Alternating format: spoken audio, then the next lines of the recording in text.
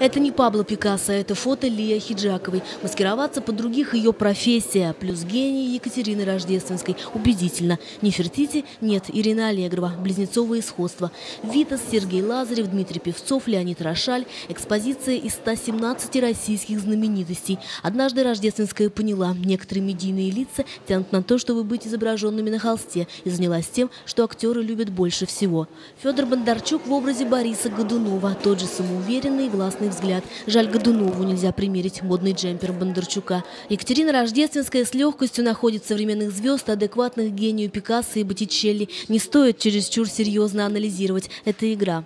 У кого-то какая-то мечта, какую-то роль была сыграть или что-то. И вот, пожалуйста, им предоставляется э, вот такая возможность. Екатерина подходит к этому совершенно замечательным образом. У нее прям какое-то чутье. Она очень точно, если вы посмотрите, подбирает образы. Тут совпадение и, конечно, внешних данных, и внутреннего мира, потому что не всегда человек может как бы передать, чтобы это не было какой-то пустышкой. Пикассо, любительница абсента, пронзительное одиночество. Это могла сыграть только Людмила Гурченко. Сотворчество с рождественской с Людмилой Марковной – отдельная статья. Гурченко была любимой моделью. Чтобы добиться сходства, не надо удлинять пальцы фотошопом, как у Пикассо. Во взгляде вся трагедия. За стеной легкая эротика. Это 141-я по счету персональная выставка московской фотохудожницы. Нижний встречает рождественскую второй раз. Мне нравится тем, что не повторяется.